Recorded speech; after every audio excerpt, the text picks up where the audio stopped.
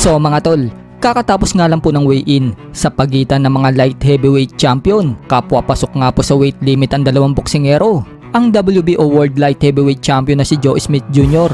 Tumimbang ng 174.6 Samantala naman, ang WBC and IBF World Light Heavyweight Champion na si Arthur Beterbiev tumimbang ng 175. Bukas na nga po ang bakbakan ng dalawa mga tol kung sino ang mananalo sa kanila. Maaaring makalaban nito si Dimitri Bivol na may hawak ng WBA Super World Light Heavyweight. Kung matatandaan natin na sinabi ng promoter na si Eddie Hearn kung hindi mag-rematch si Bivol at Canelo, target nilang kalabanin ang mananalo sa laban ng Beterbiev versus Smith.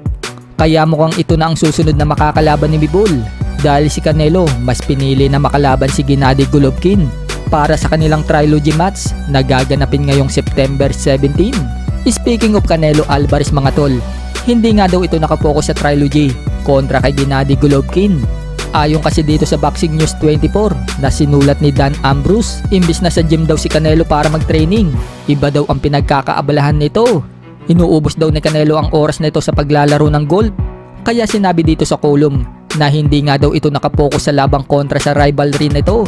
Marami naman ang mga boxing fans na nagsasabi na kaya daw hindi nakapokus si Canelo Alvarez dahil madali lang daw natatalunin ni Canelo itong si Triple G dahil sa may edad na daw ito.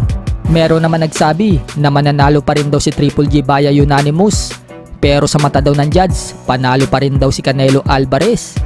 Dahil kung matatandaan natin na marami ang nagsasabi na si Triple G daw ang nanalo sa una at pangalawang laban nila. Ngunit binigay daw ang panalo kay Canelo Alvarez sapagkat favorite nga daw itong si Canelo sa Amerika. Kayo mga tol, ano sa tingin nyo ang mangyayari sa trilogy bout ng dalawa? Kanino kayo? Sa kabilang banda naman mga tol, Terence Crawford aakyat ng junior middleweight pagkatapos daw ng labang kay Spence. Sa ngayon nga daw, best time daw ito para kay Spence. Focus muna daw siya sa laban na ito. Pagkatapos daw ay aakyat na daw ito ng dibisyon para kalabanin ang undisputed champion na si Jermar Charlo. So parehas nga po din sila ni Spence. Balak din kasi ni Spence na umakyat ng dibisyon at nag-offer pa nga ang mga promoters na labanan niya si Canelo Alvarez para sa catchweight. Kung matatalo naman ni Terence Crawford si Spence, magiging two-time undisputed na ito sa dalawang dibisyon. Kung matatandaan natin mga tol, naging undisputed si Crawford sa super lightweight taong 2017. Kung manalo siya ngayon kay Spence, magiging undisputed ulit ito. At pag umakyat naman ito at tinalo din si Jermar Charlo sa super welterweight o junior middleweight division, magiging undisputed na naman ulit si Crawford.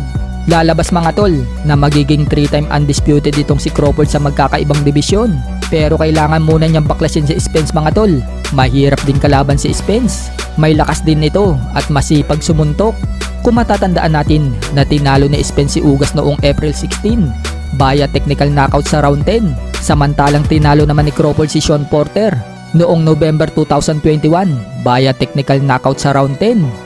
Magandang laban ito mga tol. Dito na natin makikita kung sino ang tunay na hari sa welterweight division. Sino kaya ang tutumba sa dalawa? Yan ang aabangan natin.